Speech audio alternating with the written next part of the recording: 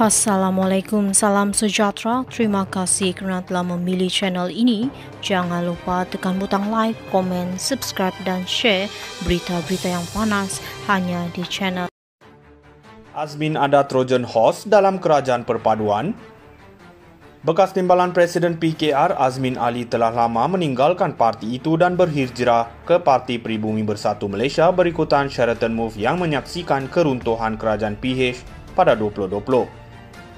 Azmin Ali begitu berpengaruh terhadap bersatu sehingga diberikan kedudukan istimewa walau tidak bertanding mana-mana jawatan dalam parti. Begitu kuatnya pengaruh Azmin di waktu itu sehingga beliau mampu meletakkan Trojan Horse beliau di mana-mana agensi kerajaan bagi memastikan sokongan serta kepentingan terhadapnya sentiasa ada. Mengejutkan sekali sehingga hari ini ternyata Azmin masih mempunyai orang dalam kerajaan perpaduan yang diterajui Anwar Ibrahim.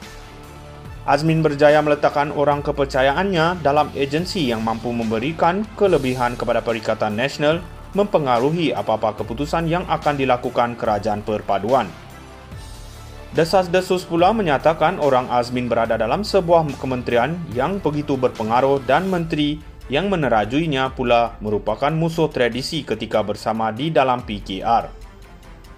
Pengaruh orang Azmin pula dikatakan agak kuat apabila mampu menjawat jawatan tinggi dalam masa singkat dan mempunyai pengaruh terhadap Perdana Menteri tanpa perlu merujuk kepada menteri.